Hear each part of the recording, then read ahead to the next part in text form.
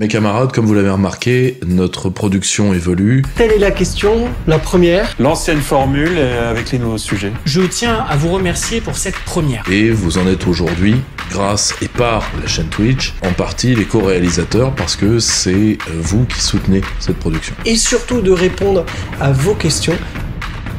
Si vous souhaitez que nous fassions plus de contenu, de contenu différent, C'est-à-dire qu'ils ont dépensé 4000 milliards de dollars rien. A-t-on le choix de dire autre chose que la vérité Ils ont un peu trahi les électeurs sur le Brexit. C'est un argument antidémocratique total. Il y a plusieurs cercles de pouvoir. Nous allons défendre l'idée de nation. eh bien, il va falloir nous y aider. Rejoignez-nous sur la chaîne Twitch. Donc, le. le donc, Je vous y attends, je vous en remercie. À bientôt.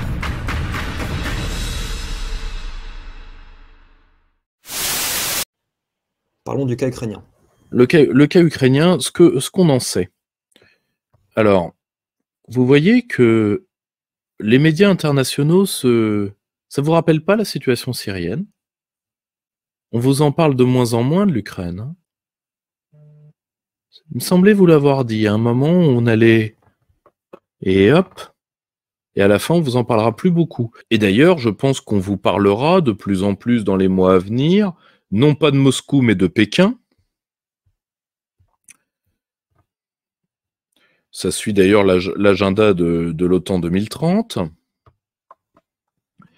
Parce que faut bien voir quelle est la situation militaire aujourd'hui.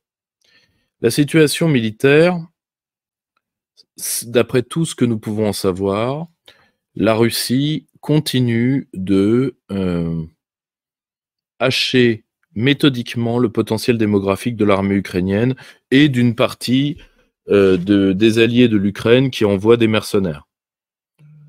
Alors eux perdent, ils perdent, euh, qui sont souvent de faux mercenaires, si vous voulez, c'est-à-dire des parts d'armées régulières qu'on rhabille en mercenaires. Euh, certains pays perdent quand même un certain nombre d'hommes qui ne saignent pas leurs armées, mais quand on voit des pays comme la Pologne envoyer plusieurs milliers de mercenaires, on s'interroge. On s'interroge. La Russie, pour l'instant, a mis en place ce qu'on pourrait appeler, je crois d'ailleurs qu'un des, ministres, des, généraux russes avait parlé euh, d'un système de, euh, disons, de, pour concasser l'armée ukrainienne. En réalité, c'est ce qu'on pourrait appeler un hachoir à viande. Euh, c'est ce qu'on appellerait en boucherie passer à l'attendrisseur. Voyez? C'est ça qui est en train d'avoir lieu. C'est d'autant plus en train d'avoir lieu que les terrains sont pas encore suffisamment secs pour revenir à de l'offensive stricte, mais la Russie a gardé 90 000 km, donc euh, rien n'a été repris. Le dessin des forces russes est toujours aussi difficile entre ceux qui disent est-ce qu'ils vont aller jusqu'à est-ce qu'ils vont faire la jonction avec la Transnistrie, est-ce qu'ils iront à Odessa. À titre personnel, c'est pas tellement ça qui m'intéresse. Ce qui m'intéresse, c'est que au-delà de toutes les manœuvres diplomatiques de l'Occident, l'isolement de la Russie a échoué. Les sanctions ont fondamentalement échoué. Elles ont mis certains secteurs de l'économie russe légèrement sous tension, mais ça a été très léger. Donc une partie de l'arsenal occidental est aujourd'hui obsolète pour un pays qui sait, se- préparer. Avant, c'était l'Occident prenait des sanctions contre un pays, c'était euh, totalement euh, totalement euh, inarrêtable. Aujourd'hui, l'Occident est en train de vivre Port Arthur diplomatique sur Port Arthur diplomatique. Je vous rappelle ce qu'était la symbolique de Port Arthur. Port Arthur, c'était la première fois qu'un peuple, euh, c'était la première fois en deux siècles de domination occidentale qu'un peuple euh, issu, euh, non issu de l'Occident, battait des Occidentaux. C'est drôle d'ailleurs, parce que les Occidentaux en question, c'était les Russes. Parce qu'à l'époque, ils étaient vus comme Occidentaux. Alors qu'aujourd'hui, on, les renvoie vers la barbarie euh, asiato-mongole. Ce qui, au passage, était la définition que l'extrême droite donnait de la Russie. C'est étonnant. vous voulez, les, chassés croisés idéologiques.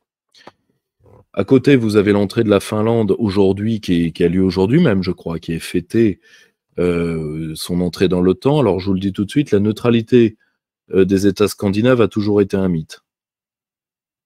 Donc, ils étaient membres de l'OTAN quasiment de facto. Alors, aujourd'hui, ils y mettent les petits fours, pourquoi pas. Et puis, vous, gagnez l'extraordinaire armée finlandaise. Mmh. Xi Jinping tremble. Vladimir Poutine n'endormira pas de la nuit. Donc, euh, bon, après, il y a pire, hein, il y a l'armée danoise. Hein Tout ceci est dramatique parce que l'Occident pense qu'il va sortir euh, rasséréné de cette crise, alors qu'en fait, nous prenons l'eau de toutes parts. C'est terrible. C'est terrible. Le... La Russie, elle, bon, son économie a prouvé au moins qu'elle était robuste. Sa population a l'air déterminée. Nous n'avons aucun signe d'une fragilisation à moyen terme du pouvoir. Ensuite, il est évident que la Russie se dirige petit à petit, mais elle s'y serait dirigée de toute façon vers les années post-Poutine. Et là, nous aurons enfin la réponse. Est-ce que la transition post-soviétique a réellement eu lieu? Et est-ce que l'identité post-soviétique de la Russie est solide? Ce sera la grande question des années à venir pour ce qui est de la Russie. Prenons un peu de, distance avec tout ça et euh, j'aimerais euh, aborder les points de la Chine, de la Russie et de l'Espagne. Alors. Premièrement, il faut, bien comprendre, et là, comme le, deuxième tome des œuvres complètes de Vladimir Poutine sortira bientôt, je vous l'annonce, euh, Romain Bessonnet l'a terminé. Euh, et là, vous allez voir le début de ce que je pourrais appeler Poutine l'occidental ou Poutine le libéral. Texte à l'appui. C'est-à-dire quand il a commencé à tendre les mains et nous quand on a commencé à mollarder dedans. Bon. Ce qu'il faut bien comprendre, c'est que au fur et à mesure, et ça s'est particulièrement vu après le discours de Munich, où Poutine a refermé la main qu'il a tenue, euh, qu'il a tendue ouverte pendant des années sous les crachats. On est passé de la Russie de ne nous rejetez pas vers l'Asie, qui était le mot unanime des Gorbatcheviens à la chute du mur, à cette phrase de Vladimir Poutine nous mettrons le, le vent chinois dans les voiles russes. Aujourd'hui, c'est acté, c'est fini. Et je vais vous dire à quel point c'est acté. Si nous n'y prenons pas garde, certains m'ont reproché d'avoir, par exemple, dit que le plus jamais ça sur l'hitlérisme avait eu là au moins avait eu beaucoup de défauts parce qu'on l'avait réécrit, etc.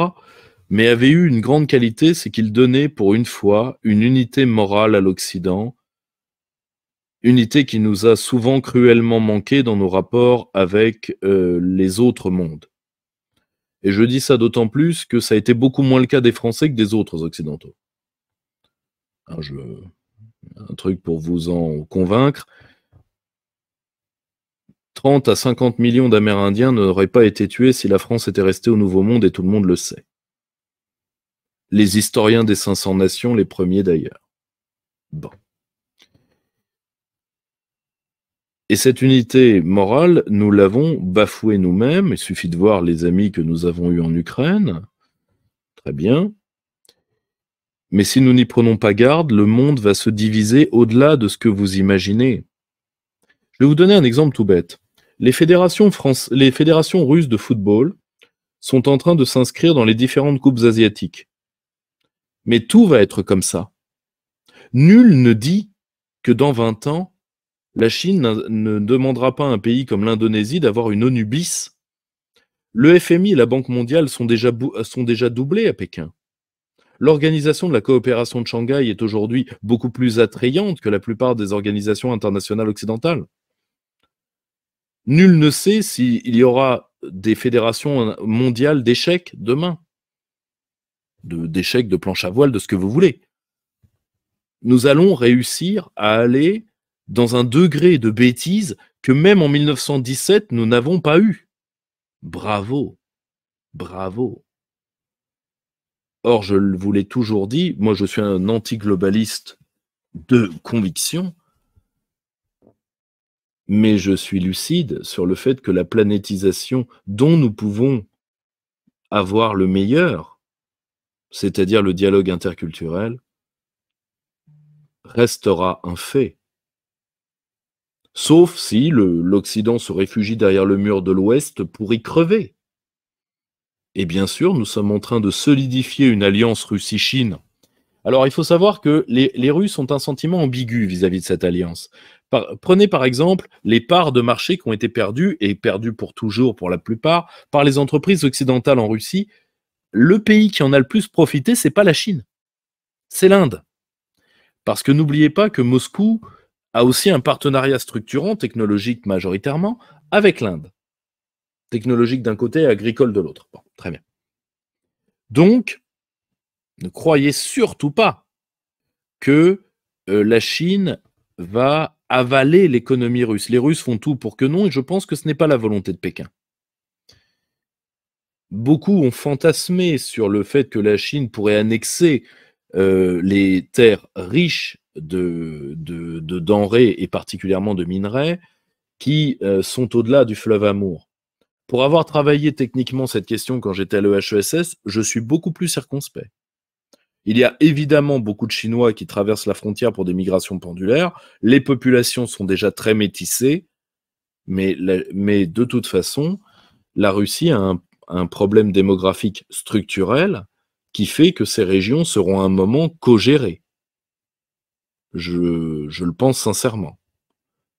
Mais oui, il y a déjà eu des escarmouches sino-soviétiques, mais je ne pense pas qu'il y aurait un retour d'agressivité majeur, en du moins pas tant que Vladimir Poutine est là, c'est sûr. Et je peux déjà vous dire qu'une partie de sa succession ne se jouera pas sans euh, un appui de Pékin.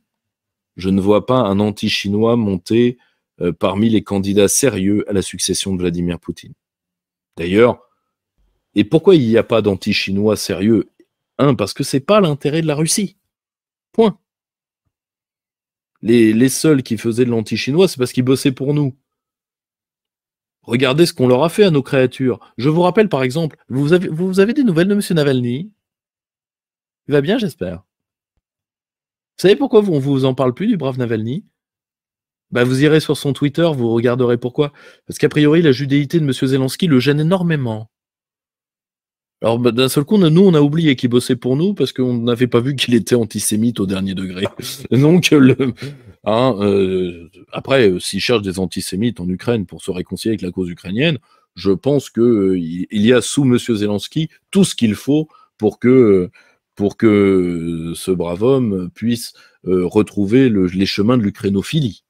Voilà où, où on en est, c'est que nous, nous avons parié sur des mauvais chevaux, et ce n'est pas du tout que ce que Pékin va dicter, très loin de là, euh, la succession de Vladimir Poutine, mais Pékin va suivre ça comme le lait sur le feu, c'est sûr. New Delhi aussi, et Tel Aviv également, puisque nos amis israéliens ont un partenariat très structuré qui d'ailleurs a vu, euh, euh, qui d'ailleurs explique la sagesse d'Israël sur le dossier ukrainien. Une fois encore, les cocus, ce seront les Européens, et je vais déjà vous dire à quelle profondeur vous l'aurez. Parce que euh, il ne faut pas oublier que M. Biden fait en sorte que les Européens soient dans toutes les instances de règlement sur l'Ukraine. Vous savez pourquoi? Parce qu'il va falloir que quelqu'un paye le pré-bail que l'Ukraine a vis-à-vis des États-Unis. C'est pas l'Ukraine qui va le payer. Elle a plus un rond. Et elle va pas le payer avec les terres arabes. Les Américains en ont déjà un tiers. Donc c'est vous qui allez payer. C'est pour ça que qu'on vous tape dans le dos et qu'on vous dit ah good guy. Ah bah oui. Ah bah. Donc euh, sincèrement, vu que l'addition arrive, prenez un digestif, ça va être corsé. Alors, autre mythe, l'eurasiatisme serait euh, une idéologie partagée entre Moscou et Pékin? Absolument pas. Je l'ai déjà dit, Dugin n'a pas de poids. Alors, il, a maintenant un poids à cause du martyr de sa fille. Mais il n'a jamais eu qu'un poids totalement résiduel sur les Siloviki, sur les, hommes des réseaux de force. Pour eux, ce qui compte, c'est l'intérêt de la Russie. L'eurasisme, ça les fait marrer parce que c'est un habillage théorique de l'impérialisme russe. Ni plus ni moins. Quant aux Chinois, les Chinois sont... Euh, n'oubliez pas que la Chine ne, veut pas dominer le monde. La Chine est un monde. D'accord? Ils prendront toutes les armes euh, de l'Occident uniquement pour être un monde à eux. Vous savez, pour être impérialiste, faut être beaucoup plus intéressé par le monde que les Chinois ne le sont. Les Chinois, avant tout, ont un regard qui va vers l'intérieur. Ce que je vous dis, à titre personnel, moi, j'ai une admiration sans borne pour la civilisation chinoise. Le problème n'est pas là. Le problème, c'est que c'est pas la mienne. Et c'est pas mes intérêts. Par contre, je dois les comprendre avec leurs yeux. C'est pour ça que j'ai publié le Laurent Michelon, que je vous recommande, qui sera a priori bientôt traduit en, Chine certainement. Voilà où nous en sommes. Nous, nous sommes à une Eurasie qui se structure, mais se structure pas du tout comme on a structuré les Européens, qui se structure réellement entre États souverains, c'est-à-dire qui se structure de manière civilisée, qui qui fait pas une sorte d'empire cacochine, qui collectivise les forces, euh, qui collectivise les faiblesses en les présentant comme des forces. Non, qui, qui fait ça de manière westphalienne, civilisée. D'accord? Donc, le, voilà, le, monde est, en, cours de devenir polycentrique. Nous devrions, nous devrions respirer plus librement de manière plus incertaine, c'est certain, oui, bien sûr. Oui, le, monde devient plus mystérieux, plus aventureux, oui, c'est vrai. C'est vrai. Mais est-ce que c'est Moscou-Pékin contre le reste, contre l'Occident? Non, ça c'est, ça si vous voulez, c'est une, c'est une pensée de, pif-paf de roman de gare. Évidemment, la, Russie soutiendra la Chine si on a la bêtise euh, d'aller à Taïwan. Mais Taïwan, ça pourrait aussi très bien se régler. En réalité, vous savez, maintenant, pour qu'un conflit se règle bien, vous savez ce qu'il faut C'est qu'on n'y foute pas les pieds. Vous voyez ce que je veux dire? Le meilleur moyen, c'est bas les pattes. Et croyez-moi, les Taïwanais s'en sortiront beaucoup mieux sans nous. Comme les Ukrainiens, je vous rappelle que l'Ukraine, si on l'avait laissée elle-même agir, elle a déjà tenté de négocier deux fois avec la Russie, c'est nous qui nous sommes interposés. Les deux fois. Combien d'Ukrainiens seraient encore en vie? Si on n'avait pas joué les malins Passons à un point qui, euh, je pense, est absolument primordial aujourd'hui, euh, géopolitiquement en tout cas. Euh, passons au Moyen-Orient et à tout ce qui s'y passe. Bon, on va, on va expédier vite le conflit israélo-arabe parce qu'en fait, ce qui est intéressant dans le conflit israélo-arabe, c'est en réalité la situation interne israélienne. Rappelez-vous, euh, alors euh, si vous voulez, le, nous avions fait un constat lors d'un de mes précédents GE sur les dernières élections et sur le fait qu'Israël, de toute façon, évoluera euh, par évoluera au rythme des rapports entre les entre les nationaux religieux et les ultra-orthodoxes. Maintenant, c'est acté, c'est une mécanique démographique inarrêtable. Eh bien, vous en avez l'effet là, c'est-à-dire que euh, vous avez euh, euh, de plus en plus de conflits entre particulièrement la Cour suprême israélienne et l'ensemble de, l'autorité judiciaire israélienne et le mouvement politique. Et le, et le, et le, pardonnez-moi, et le, les différents mouvements politiques et la condition politique euh, presque intégrale, à l'exception de, des résidus. Je vous rappelle quatre députés à la Knesset du Parti, travailliste et, des partis arabes, etc. C'est-à-dire ce qui sont aujourd'hui plus grand-chose. Pourquoi? Parce que euh, Israël a eu pendant très longtemps euh, un gouvernement des juges comme nous aujourd'hui, et ça, ce n'est plus supporté par les populations. Alors vous me direz, Benjamin Netanyahu et son projet sont allés très loin et ont choqué une part de l'opinion. Certes, mais la question se reposera. Parce qu'à un moment, euh, vous ne faites pas de la politique, vous, n'opposez pas des oracles à des urnes. Je m'explique. Pour moi, une partie des magistrats aujourd'hui violent leur pouvoir, euh, euh, leur pouvoir prétorien en faisant de la politique et en croyant lire dans les tables de la loi, comme à, une époque, les oracles lisaient dans les euh, cadavres de poissons ou dans les, les boyaux. voyez? À un moment, les populations demanderont l'effectivité des décisions publiques pour lesquelles elles ont voté. Et face à ça, on se soumet ou on se démet. Alors vous me direz, ouais, mais quand même, c'est une majorité très à droite. C'est une majorité très à droite, mais moi je suis pas israélien. C'est pas donc c'est pas un fait. C'est pas. Je ne les soutiens pas. Je vous, j'essaye de vous expliquer pourquoi ça se passe. Et pourquoi, en réalité, les problèmes que vivent les Israéliens sont des problèmes qui sont tout à fait proches de ce que nous vivons. Sur ce plan-là. Sur le conflit israélo-arabe lui-même, la dynamique démographique est ce qu'elle est. Elle est temporisée par des phénomènes sociologiques qui, euh, qui sont la distance de plus en plus grande entre la condition palestinienne et la condition arabe-israélienne. C'est un conflit qui sera stationnaire de toute façon. Un lent pourrissement.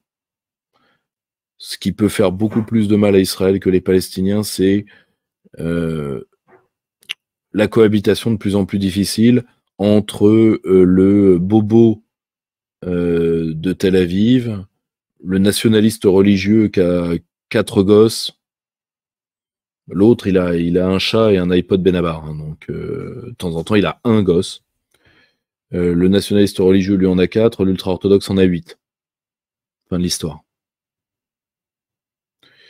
Une, fois qu'ils ont eu la, citoyenneté pleine et entière par Ben Gourion et que on a eu le et qu'Israël est devenu une démocratie, c'était acté de toute façon. Tout le reste, ce ne sont que des développements. Là où il y a un vrai coup de maître, le coup de maître de la diplomatie chinoise. C'est l'événement le plus important, euh, plus important de cette année pour l'instant, de très loin. La Chine, sans qu'un pays occidental n'y ait foutu le plus petit ongle, et, et c'est peut-être pour ça que ça a marché.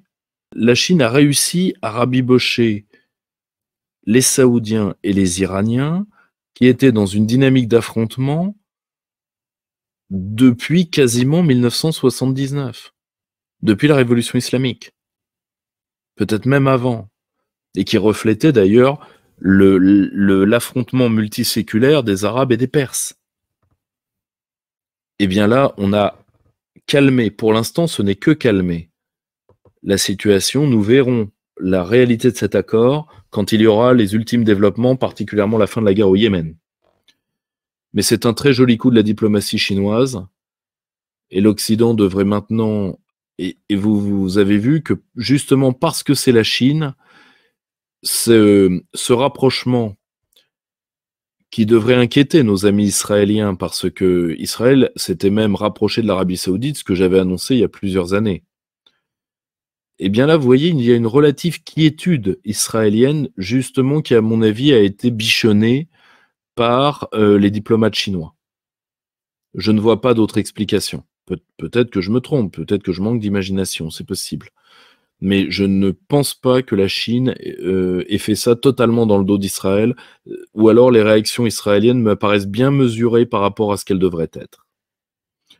Donc, c'est un, très joli coup qui montre que la Chine maîtrise parfaitement les dossiers géopolitiques, ce qu'on aurait pu tout à fait, euh, voir euh, par euh, la génération de diplomates des loups combattants. Alors oui, ils cassent un peu de vaisselle, oui, c'est vrai. Les nôtres, ils font perdurer les carreaux fêlés. Je préfère les casseurs de vaisselle. Mais c'est un, très joli coup qui rétablit tout l'équilibre dans la région. De toute façon, l'Arabie saoudite a réussi une véritable révolution copernicienne qui était impensable. Un, je vous dirais même pas, même, même pas un roi, mais un petit prince gradé. Prenons le type du prince Bandar, dont la fille vient d'envoyer un soufflet à la diplomatie américaine. le prince Bandar aurait manqué de respect aux Américains en 2001, 2002, 2003, il n'aurait tenu sa vie qu'aux suppliques adressées par le roi. Si Mohamed Ben Salman reste en vie, parce que je, vous savez, dans une situation tellement révolutionnaire qui évolue tant, vous avez toujours, mais qui est marquée par les tensions, vous avez toujours peur que quelqu'un fasse quelque chose de stupide.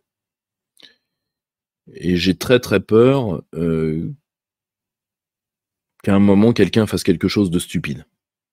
J'espère que non. Mais bon, on ne sait jamais. Mais si Mohamed Ben Salman reste sur cette, euh, sur euh, cette modernisation autoritaire de l'Arabie saoudite et reste sur son axe géopolitique, alors la région aura totalement changé de visage. Et là, vous avez des tas d'acteurs qui sont rentrés en jeu. Le retour diplomatique fracassant d'un État comme la Syrie. Alors il est peut-être grand temps qu'on qu'on fasse un peu plus que des excuses si on veut un jour revenir sur la table. C'est un très joli coup de la diplomatie chinoise. Faut être très honnête. Et peut-être que si nous avions une dynamique constructive et intelligente, nous pourrions aider à la réémergence du Moyen-Orient, à penser les plaies autant qu'elles sont pensées et qu'elles puissent être pensées des euh, de la destruction du Moyen-Orient. Et je pense, euh, là je rejoins euh, notre ami, un homme exceptionnel dont je vous renvoie à sa conférence, Roland Lombardi. Je pense que pour la France, il faut s'accrocher à l'Égypte et espérer une renaissance irakienne et régler le cas du fils Kadhafi qui doit prendre la place de son père et le plus tôt sera le mieux. Et tant qu'à faire, qu'on y soit pour quelque chose, sinon, eh bien, c'est la Chine et la Russie qui régleront le problème et qui peut-être feront entendre raison à Erdogan, dont la présence sur le sol libyen n'est pas nécessaire. Chers camarades, si tu veux plus de contenu, de réinformation, d'éducation populaire et de formation intellectuelle, n'hésite pas à faire un don sur notre page Tipeee.